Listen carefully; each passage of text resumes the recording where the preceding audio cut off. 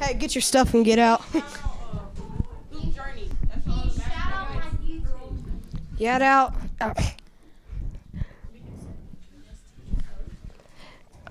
The best teacher ever is Miss Hen- Gordon. Hello. Yo. Hello and welcome to Cooking with Video. I'm Cameron Kale. And I'm Tom Ader. Today we'll be looking at the latest trends in food and drink.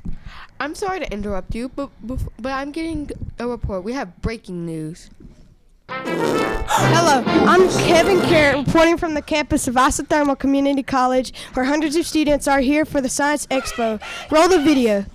As you can see, one group has broken away from the rest. They seem to be protesting tele- telemarketers who are trying to sell chocolate covered green beans to students all over North Carolina. Back to you in the studio. Okay, that seems kind of weird, right?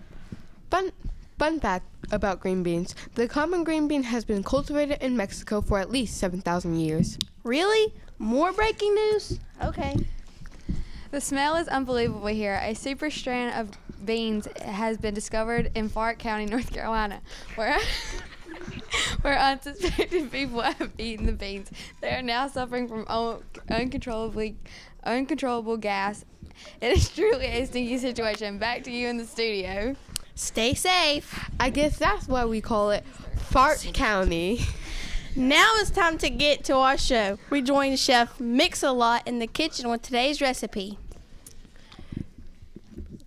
Big news. Go to the cra- graphic. For the first time in history, Americans spent more money at bars and restaurants than they did on groceries. The trend is eating out, so there's no need for a recipe. I'm going out to eat. What's going on? Come on, let's go eat. I'm hungry.